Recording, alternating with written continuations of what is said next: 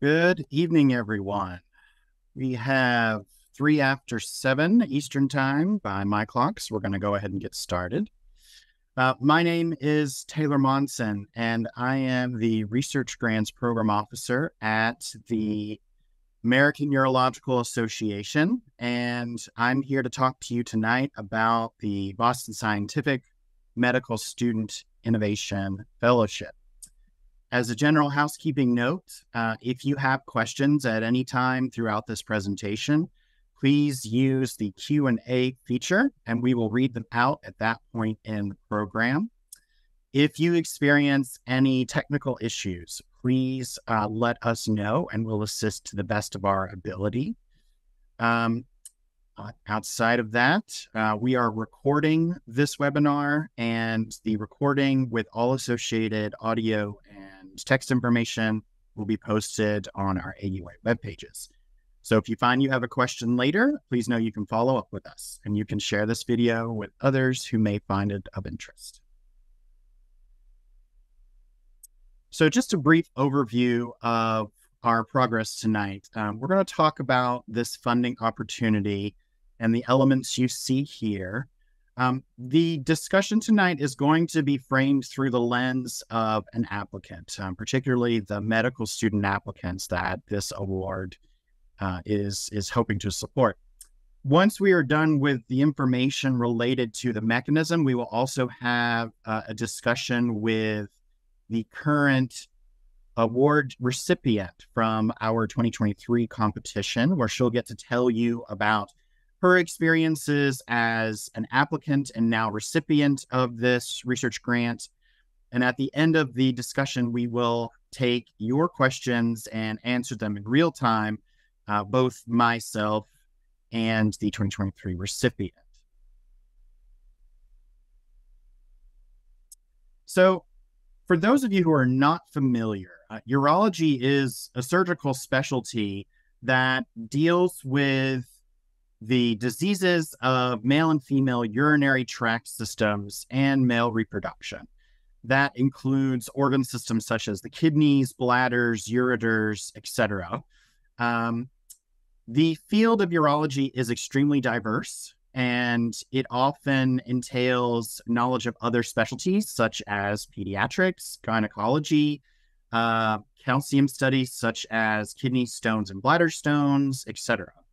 If you are a medical student who's not familiar with urology, I highly encourage you to check out the resources on our AUA web pages, such as the infographic you see here that highlights some of the big picture um, talking points, takeaways, and introductions to urology as a specialty. So, the American Urological Association is the world's premier uh, trade association for urologists, clinicians, and urology physician scientists. Founded in 1902, we have over 23,000 members across the globe with our mission to promote the highest standards of urologic clinical care. And we do that through a combination of programming focused on education, research, and healthcare policy related to uh, urology practice. The American Urological Association has chapters or sections that are geographically based. And here you'll see an image of what I mean by that. I kind of make this analogous to uh, fraternity or sorority chapters. Um, this comes into play later on in our discussions. You may already be familiar with the AUA section in your area. Um, these sections feed into the national organization, which is the American Urological Association. So within the AUA is the Office of Research to pursue the third of the mission that is concerned with advancing urology through research. Um, I work in the AUA Office of Research. We have a particular mission to increase and maintain the workforce of urology physician scientists, those who do surgical practice and do medical research, and researchers, those who may not do any clinical practice, but are still actively researching and publishing in a urology disease or function area. Uh, we hope to catalyze the advancement of clinical practice and reduce the burden of urologic disease through impactful research. And we do that with three programmatic areas advocacy for research funding from federal payers such as the National Institutes of Health, the Veterans Affairs Department, the Department of Defense, or other payers. We do it through research education with a whole host of research education workshops, annual symposia, skills development courses, etc. And for our purposes tonight, we do that by supporting research funding in partnership with our Urology Care Foundation. The Office of Research manages the applications and the review and selection for several research grant mechanisms that we'll get into in a second. If you are not familiar with the Urology Care Foundation, they are the foundation of the American Urological Association. They raise the funds that then the Office of Research helps compete and award. Their mission is not only to forward urology research by fundraising for research grants, but also to develop patient education resources and more recently to provide urology humanitarian aid across the globe. Um, we have been offering research grants since 1975. We're coming up on our 50 year anniversary. We have funded more than $34 million in urology research in that time to well over 850 uh, different researchers and individual funding lines. This represents more than 100 institutions across the AUA sections just to give you an idea of what a year in the research grants department looks like, in 2022, we awarded over $1.4 million in new research grant funding to 49 new early career investigators. And that represents funding for 16 uh, disease areas across urology. We fund every type of research from basic to clinical to translational we fund mechanistic research, we fund health services and epidemiology research, and everything from kidney stones to benign prostatic hyperplasia to prostate, kidney, or bladder cancers, etc.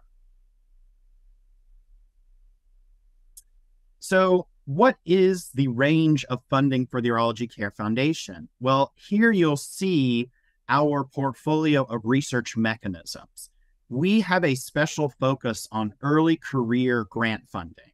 And what I mean by that is we fund research starting with medical students to urology residents to a intensive urology residency research training award.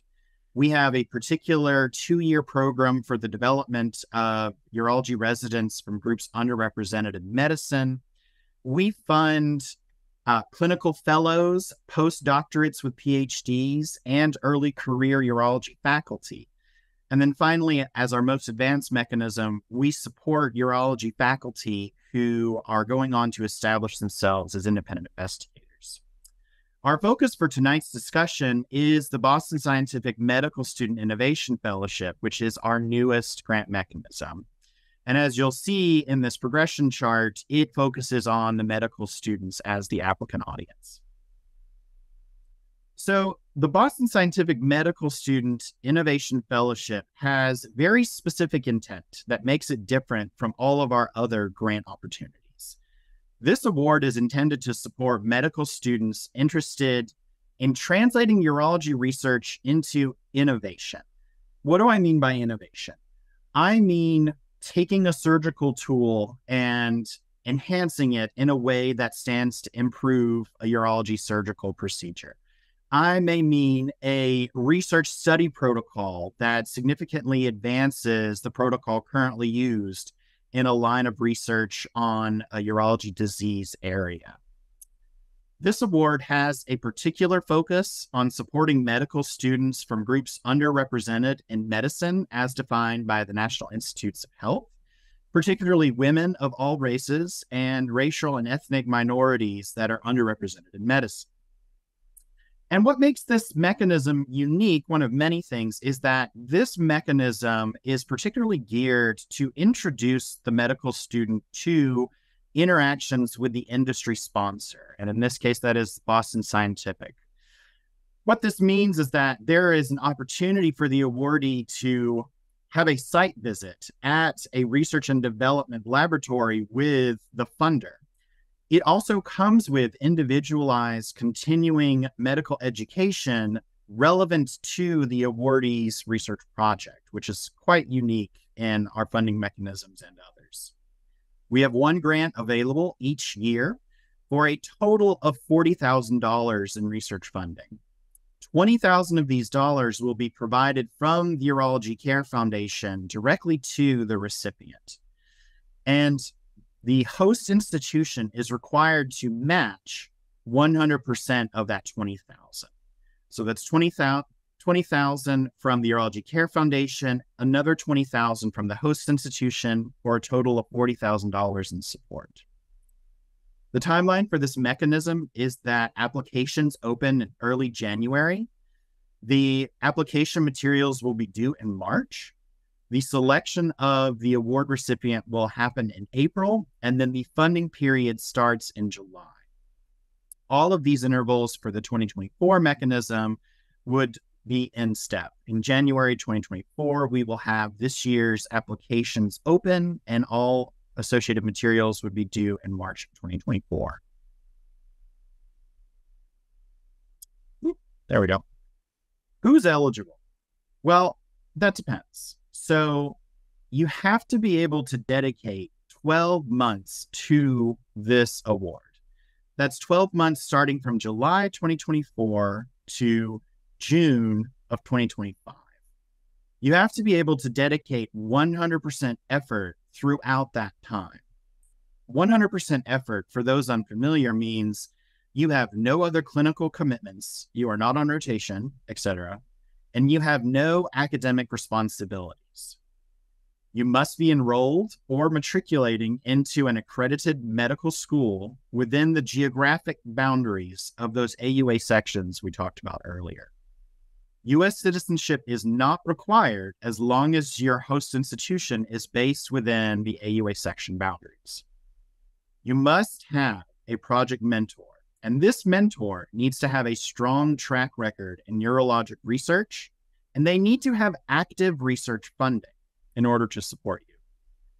The host institution must be within AUA section boundaries. They have to be accredited and they have to provide that $20,000 in matching funds. What's involved in applying to this fellowship? Here you'll see a list of all of the applicant components. At first glance, this may seem a little overwhelming, but I'm going to walk through a couple of them with you. The proposal agreement form. What does this mean?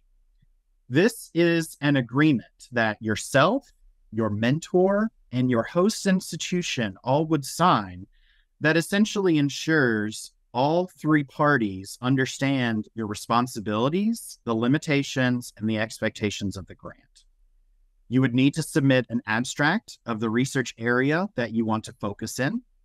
In addition, you would need to submit a research project description that includes, at minimum, a background narrative of the scientific area that you want to focus on, the specific aims of your project. What are you going to test in your 12 months? What do those outcomes look like? How are you going to avoid any mistakes? You have to talk about the impact of this research project on the urologic research community. How will it improve patient care? How will it forward the current research?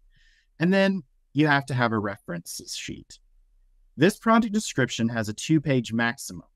Note that the references are not included in this count. You can have as many pages of references as is reasonable for your background narrative and specific aims. You have to have, as the applicant, an NIH bio sketch or a resume. This is specifically an academic resume. In the application, we include a sample of what a biosketch looks like. The BioSketch would be something that you could work on with your mentor, as it is an extremely useful tool as you continue to pursue research funding opportunities. If you're not able to create a BioSketch, we do accept an academic resume, and either format, there is a two page max. You need to include a one page career plan. Where are you going? with your career in medicine, in research? How will this grant uh, influence that trajectory? You have to include a diversity, equity, and inclusion statement that essentially talks about the ways in which your current situation as a medical student, as an award recipient, could impact any improvements in the representation in the field of urology. There's more instruction about this and resources we'll hit on later. You need to include a one page innovation statement. And this basically talks about how the project you're pursuing is innovative above and beyond the current standard of the field. Your primary mentor needs to include their NIH BioSketch, and they have a five page maximum.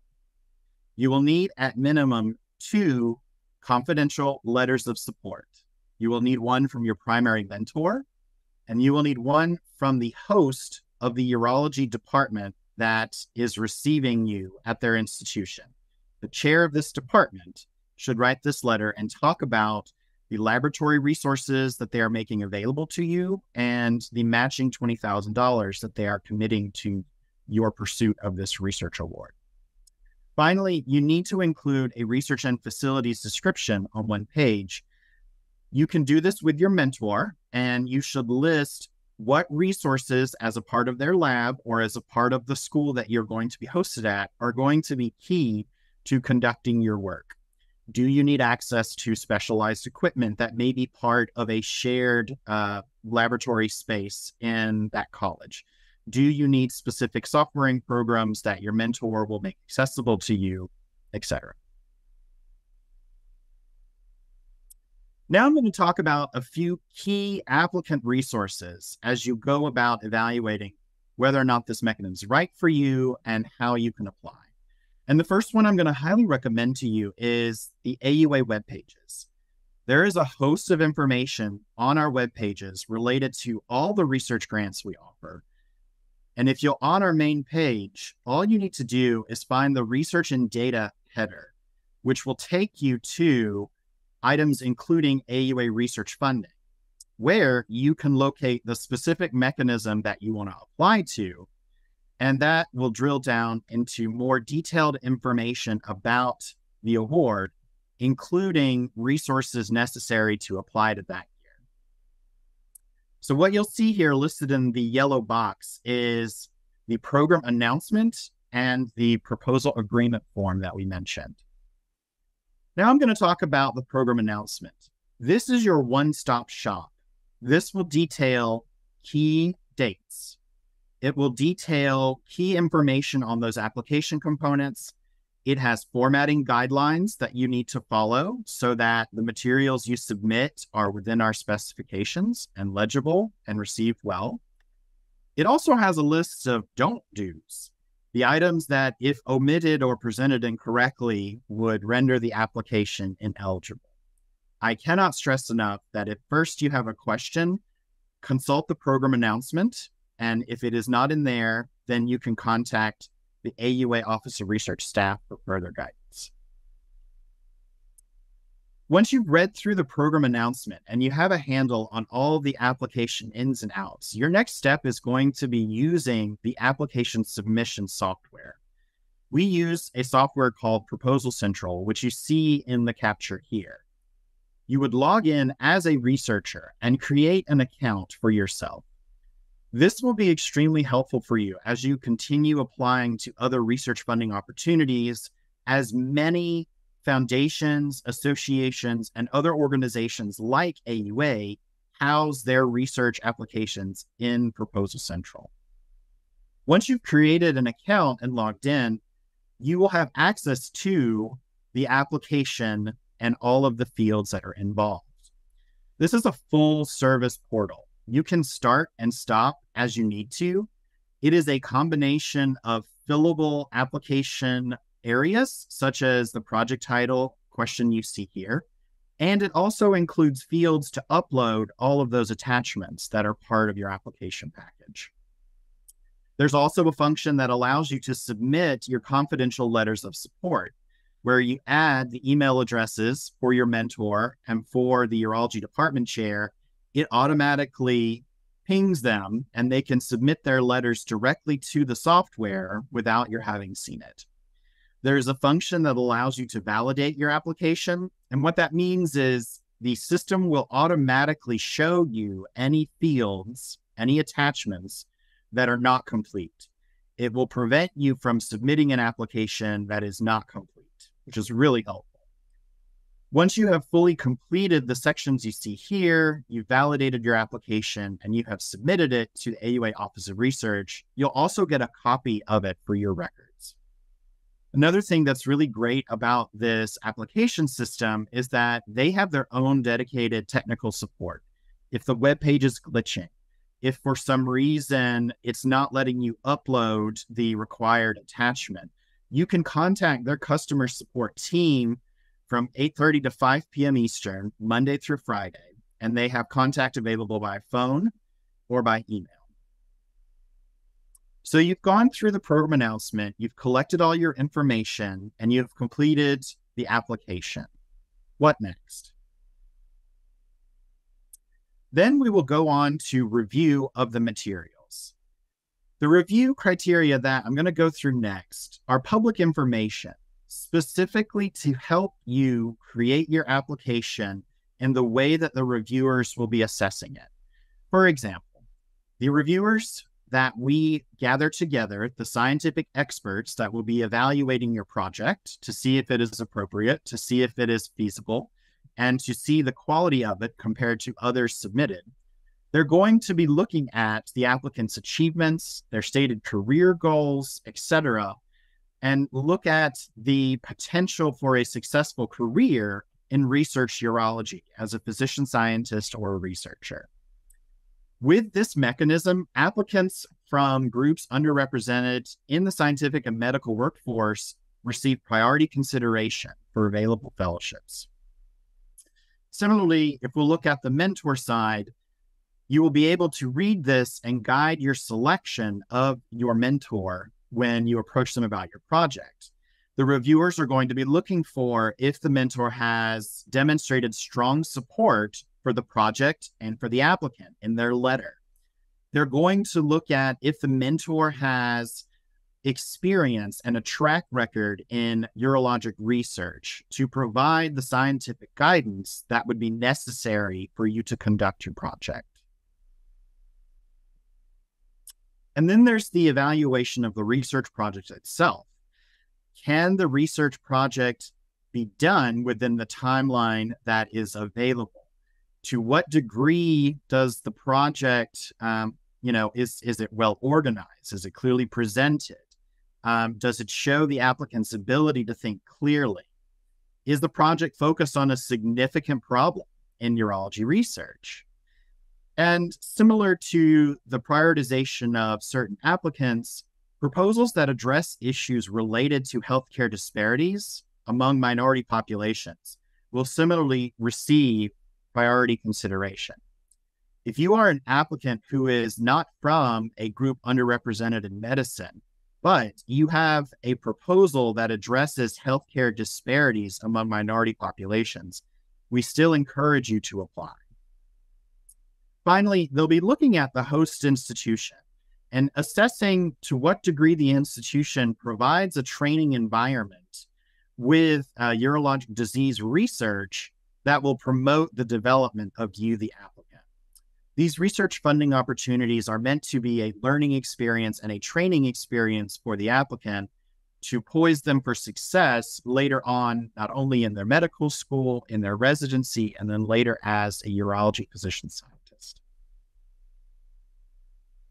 So, all of this may appear a bit daunting, but I'm happy to share that this is attainable. And to demonstrate that, I'd like to invite the 2023 recipient uh, to speak with us a bit and tell us about her experiences navigating the applications and her experiences with the award to date. So, if you'll join me in welcoming Daniela Orozco Rendon, with her project that focuses on real time, non invasive monitoring of erectile dysfunction for Hispanic men receiving testosterone replacement therapy. Daniela, how are you this evening? I'm good. Thank you so much for having me. So I wonder if you could start by telling us a bit about how did you go about finding a research mentor? What was that process like? Yeah, um, I started at my home institution. I knew I wanted to do research for a year. I didn't get to do a lot of it during my third year. Um, so I sat down with the person that I had done some research with at my home institution, kind of let him know what I wanted to do. And so kind of used him and his contacts to send out a few emails. Um, there's a lot of cold emails uh, to try to find somebody who was um, had an established research year. Excuse my cat in the background. Okay, so your host institution for your fellowship is not where you're enrolled in medical school. Is that right? That's correct. So, um, uh, Dr. Gross, who is my from my home institution, knew uh, Dr. Mohit Khera at Baylor College of Medicine, which is where I am right now. Um, and so he was actually able to put me in contact with him, and I sent over a resume, kind of what my plan was, and we did an interview, and that's kind of how we got connected. Okay. Can you tell us a bit about how you approached putting the application together? Um, so I think for starters, I sat down with Dr. Khera um, when the opportunity presented itself, and we kind of looked at what projects he had in mind, what resources he had access to, and then kind of what my interests were within the field of urology, um, which is where we talked about the FirmTech. He already had an established relationship with the FirmTech company, so we were. I knew I was able to get access to the resources that I was going to need to do the project. Um, and I knew I wanted to take a approach that was more towards minorities, particularly Hispanic men, um, so we kind of took a project that he had started and tailored it to fit the interest that I had, um, and kind of went from there. Okay. Was it was it daunting to put the pieces together? How did you find yourself amidst all the different components? Um, I think at the beginning, I think it's biggest recommendation is having a really great mentor. Um, just because there's a lot of pieces. This happens, and for me, it happened during my third year of medical school where I was doing clinical rotations. So time was limited. Um, but having that support, and I really utilized emailing uh, the contact information that was on the application site, made it a lot more helpful. Um, and so getting in the application wasn't too bad once you actually got started and had a good idea of what I wanted to do. Okay. Can you tell us a bit about your research project? Um, I understand you've started actually conducting the research now. How's that experience been for you? Yeah, so um, the thought process behind this project was as of right now, the current use or way that we monitor or check for erectile function in men is using the International Index of Erectile Function, which is a questionnaire, has five parts, and normally uh, patients will fill it out in office. And although it's useful and it really helps us get a gauge on how erectile function management is going, it's a subjective um, means of recording. And there hasn't been any great objective measures that are private and a patient can do at home and is simple to use and portable. Um, and so when I learned about Firmtech, which is a the equivalent of kind of a for a Apple Watch for your penis. It does a lot of the similar things that we would be trying to gauge with an IIEF, um, but the patient can do it at the privacy of their home. It collects information straight to their phone. Providers have access to it. Um, so I thought it'd be really cool to use that to see um, impact of testosterone on erectile function and kind of correlate the data that we were getting from IIEF to this FirmTech to see if the device was comparable and what the differences we would see would be. How has your experience been at Baylor and in the lab, you know, conducting all the research directly? Um, this year has been great. It's been a huge learning experience. I think one of the greatest things about the fellowship is coming in, I had done some research, but I hadn't had a chance to take a lot of ownership of a project. And I think this really gave me that opportunity. Um, and having mentorship from Dr. Khera, who has been absolute gem of a human being and has been incredibly supportive it has been really nice to not just get to work on the project, but also learn from the Boston Scientific Group, who provides a lot of support. Um, and then also just the opportunity to network with other great urologists who are in the academic field who are also really eager to mentor. Um, and it's opened up a lot of doors to other projects that I've had in mind that I didn't get to do at my home institution. And now I've found little homes for them and have actually been able to work on those as well. well that sounds great. Um, you mentioned your interactions with the industry award sponsor, Boston Scientific. Could you tell us a bit more about what all that has involved so far? Yeah, uh, Boston Scientific has been wonderful. Um, Dr. Ron Morton is who is main point of contact. Um, he has been great. Um, they actually came down, I think, two weeks into the program, and they brought their stats group um, and that's a really great opportunity because you get a whole new lens to your project. It was one thing for me to sit down with Dr. Khera, come up with the project. And then it was a very different thing to have the stats side come in and really, you know, point point to where there could be flaws, which, you know, it could be as simple as maybe this needs to be an exclusion criteria or maybe consider collecting data this way. Um, things that you probably wouldn't think about until you submit a paper and you get re- reviewers commenting like, "Oh, we should have done that to begin with." So that's been really helpful.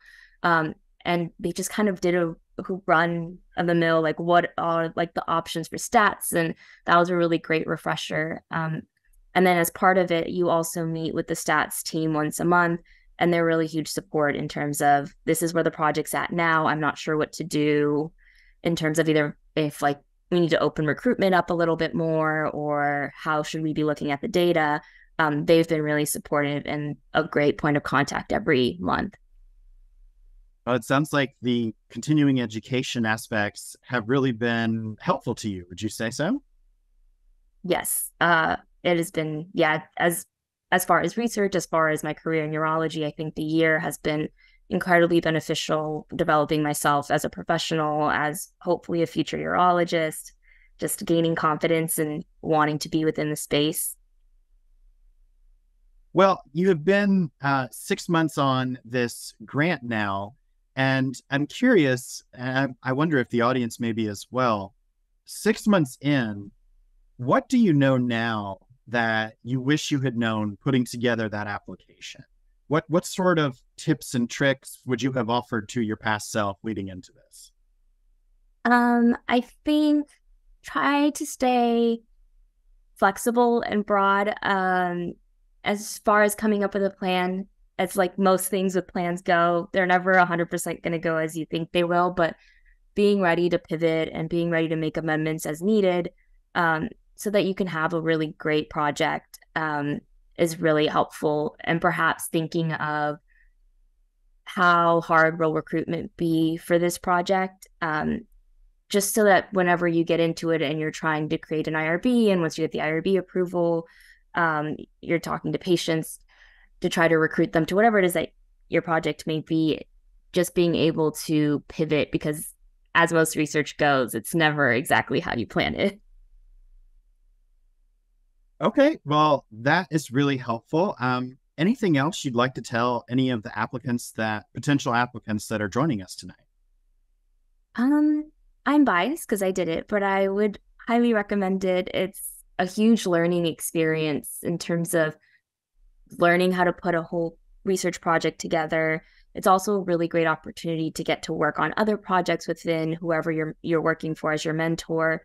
And lastly, I think it's a really great opportunity to really learn what urology is, what um, goes into being a urologist, what the day to day life looks like, and figuring out if that's a space you want to be in and what that would look like for yourself. Fantastic. Well, at this point, I think we're going to start taking some audience question answers. So, um, as we are taking question and answers, I also just want to say thank you all for coming tonight, or if you're viewing this recording later. If you have any questions that aren't addressed during our, our session, please know that you can email the Office of Research for additional guidance our email here is grantsmanager at auanet.org. And with that, I will invite my colleague Adam to read out any of the questions that have been submitted to the Q&A feature or the chat feature. Sure. So we've gotten a couple questions in here, and the first one that we have is wondering if you could explain or elaborate on what you meant earlier in the presentation when you were talking about how there have to be no academic responsibilities. That's a great question. Essentially, this this fellowship is set up almost like a gap year. Um, you cannot be attending the lecture in real time and participate in this program. The expectation is that you will be dedicating your workday hours to the research. Um, and that can be a bit tricky. Um, if you are taking classes that do not require in real time attendance, then that flexibility may be available to you. But 100% effort means that essentially you have no clinical obligations and you are not attending lecture or classes or things like that in real time during the business day.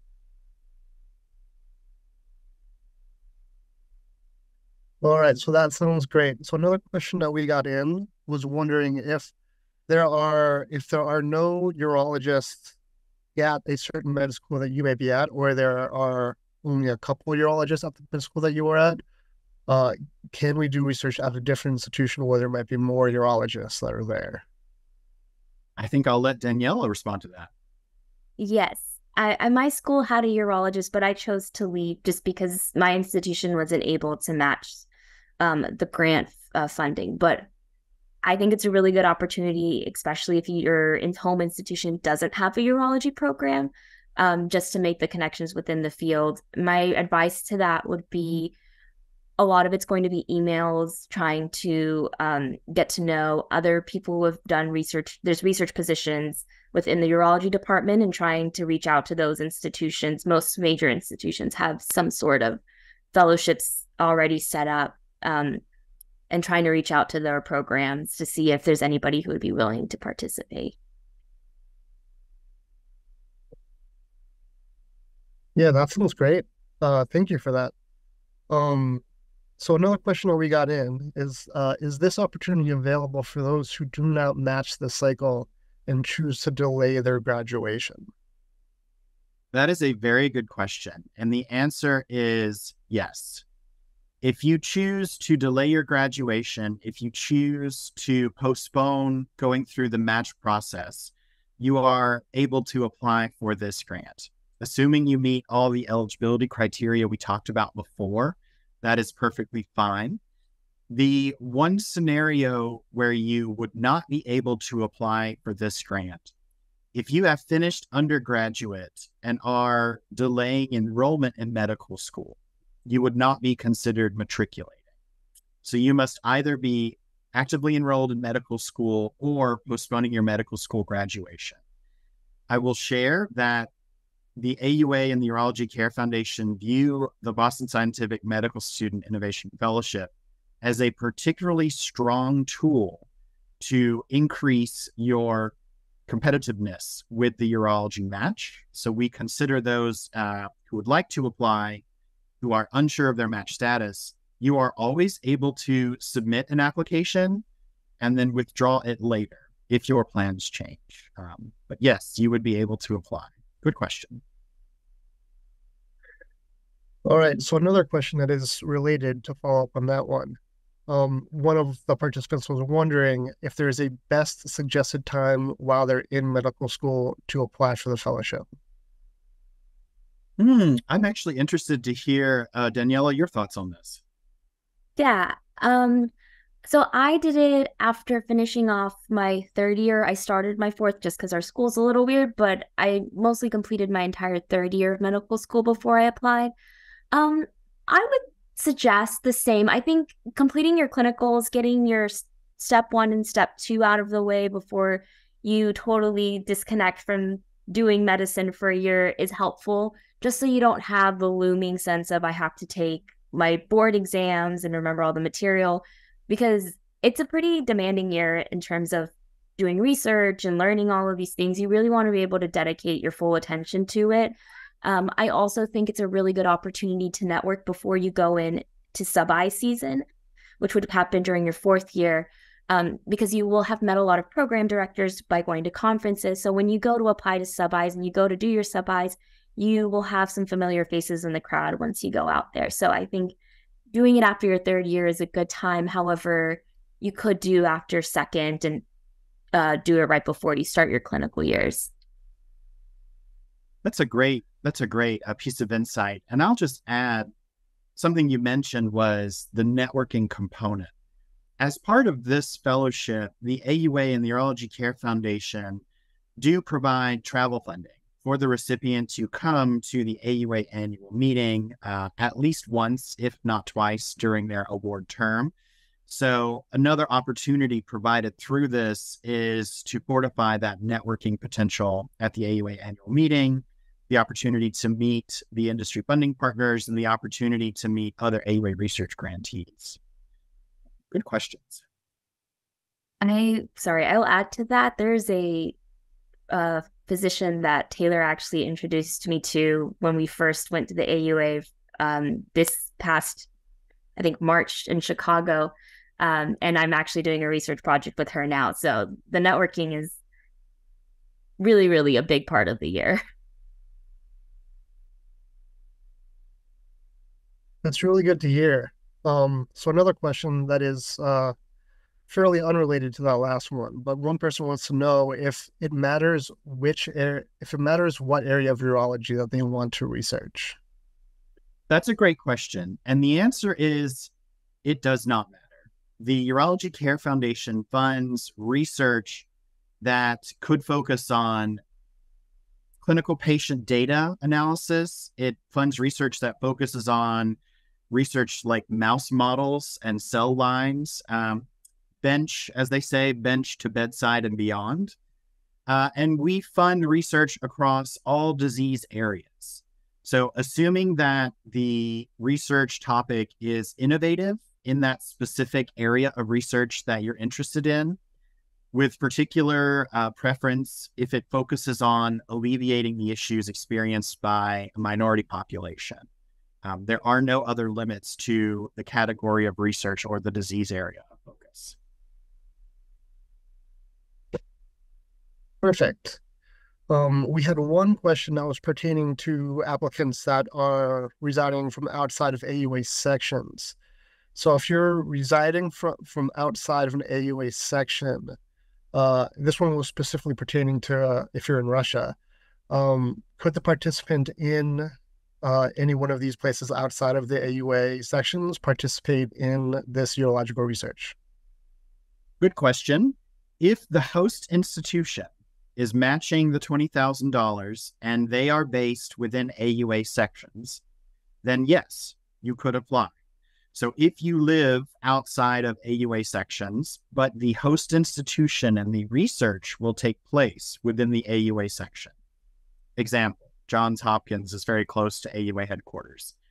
If you lived anywhere across the globe, but you were doing your research year at Johns Hopkins and they provided the matching funds, you would be eligible for this fellowship.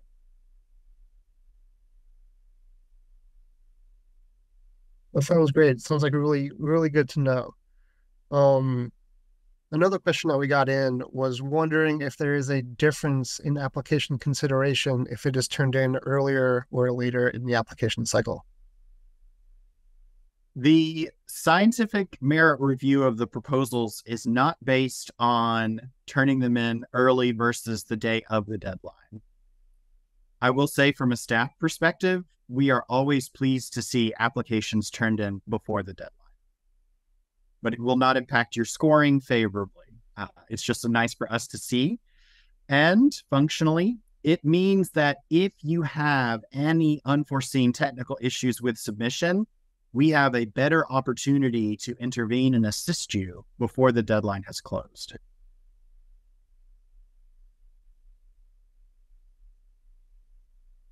Perfect. Sounds good.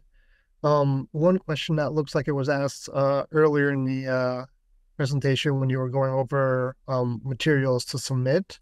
One person was wondering um, what a biosketch was and where you could find the formats for it. Another really good question. A biosketch is essentially a scientific research resume. Uh, the National Institutes of Health is the biggest biomedical funder of research grants in the world. And they created what they call the biosketch as a way to standardize information on what research you have done, what clinical work have you done, where have you conducted your education, what papers have you published, what scientific presentations have you given at a conference. So it is a structured way to present that information that is consistent across applicants. Whether I create a bio sketch or Daniela creates a bio sketch, it will be information presented in the same sections either way. Um, how do you find one? In the application system, we provide a template of the current NIH bio sketch that includes all of the sections of information that can be filled in. We highly recommend that you work with your primary mentor on filling this out because it is a very useful tool. However, we recognize that maybe you came to the application late in the game and you have an academic resume that isn't in the right NIH BioSketch format. So we will accept either. Um, Daniela, did you want to provide any insight on putting that together?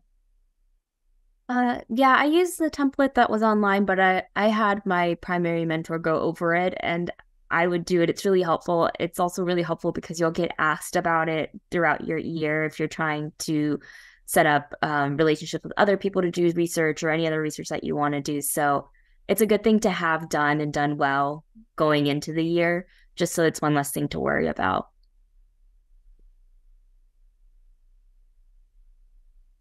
Gotcha. That's really good to know.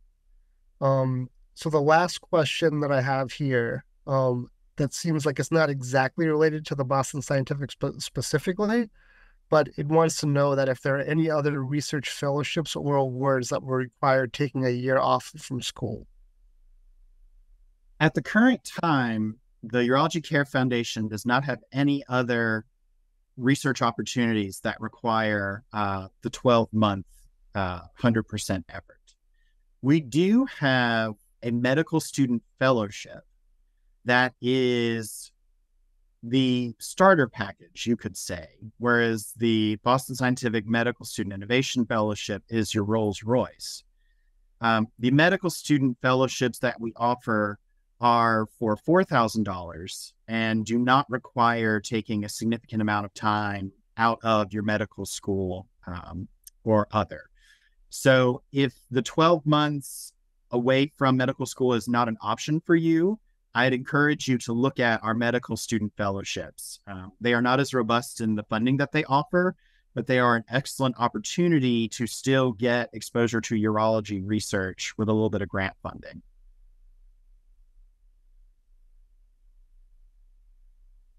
That sounds great. Um, so so far we do not have any other questions that have come in. Well, actually, no, we just had one as I was speaking. Um, so one last person just asked, can you talk a little bit more about what kind of training you received from Boston Scientific? Danielle, I'm sure this is probably more geared towards you. Yeah, yeah, I'm happy to. Um, so the very first meeting with Boston Scientific was official. They came down to uh, Baylor. It was week long, and pretty much the way it was structured was the first few days was like a basic stats, so that we were all on the same page. We learned different stats tests, when to use them, um, and then after that was more centered around the project in the sense of we sat down. You give a really quick a brief presentation of what your project is, what your end measurements are, and how you hope to accomplish that. And their team of statisticians will sit with you and kind of run through the protocol that you've developed. Um, in my case, we really sat down and honed in on what our inclusion exclusion criteria was so that we wouldn't have confounding variables at the end. Um, we really walked through timeline of our project. So, for instance, the IIEF in my case was a it's based off the last four weeks, so we made sure our timeline was conducive to that. Um, and then at the end, more just more like basic, a little bit more into stats and how that's run. And then the follow up meetings are really tailored to what it is that you might need. Um, the way it's worked is halfway through the month, I send an email to the Boston Scientific Stats team, and I either d- and I discuss what's going on with the project now, things that I might need help with, and then at that meeting at the end of the month, it's about thirty minutes, and they really sit down and talk to you about it. They also provide a lot of resources on where to get st- information about stats, running stats, um, and then they're also just have all given me their phone number, so I've been able to text and be like, I'm in the middle of trying to submit an abstract this is my question about a stats that I'm working on. Am I doing it correct? And they're really good at just guiding and like making sure that you feel comfortable and confident in the work that you're doing throughout the year. Yeah, that sounds great. And then having that type of resource available is always extremely beneficial, especially in the research world. Um, one question that we did just get that I think was a follow up to uh, doing research for someone that was coming in from an outside section, outside of AUA sections. Uh, the question is, does this mean that we have to travel to the U.S. to get um, research done, or can it still be done outside of the U- U.S., even if it is associated with a uh, um, organization that's within AUA section? That's a great question. So, the AUA sections are not solely within the United States. They include Canada, they include Mexico, that includes a large part of Central America, and I think a few of the US territories. So the host institution must be based within those section boundaries, which can be found in full on AUA's website. You can actually search by zip code within the geographic section to see if it is located within one. If the if the research is such that you have to be in the lab to conduct it, or you have a mentor whose preference is that you need to be available in real time to work with them, then yes, it would necessitate you traveling in to that host institution to conduct the research. There are not many scenarios where an application would be an application would be eligible if the entirety of the research proposed was conducted remotely. So this fellowship is intended to be uh, very hands-on. It is intended to get a lot of direct contact and exposure with not only the primary mentor, but as Daniela was mentioning, with the industry sponsors who are based within the US and with the networking opportunities, which are also based within AUA sections. So you do not need to be a US citizen or have um, any of the particular immigration statuses associated with long term residency in the US, but the host institution must be based within AUA sections, accredited, and the project must be conducted in real time on location at that host institution. Good follow up question. Gotcha. So we haven't had any other last minute questions to come in. So I think with that, um, Taylor, did you have any uh, last um, minute comments that you wanted to address before we end this? No, I just want to say thank you to everyone who attended tonight. Uh, a big thank you to our 2023 recipient and all the fantastic work that she has already accomplished. We're really looking forward to seeing the closeout of not only this project, but where you're going in the future. Um, we highly anticipate seeing you in other AUA research grants. And thank you all for your time tonight. We appreciate it. If you have any additional questions about this funding opportunity or other funding opportunities, or research programs offered by the American Urological Association or the Urology Care Foundation, please email us. That's grantsmanager at auanet.org. With that, thank you all so much and enjoy the rest of your evening.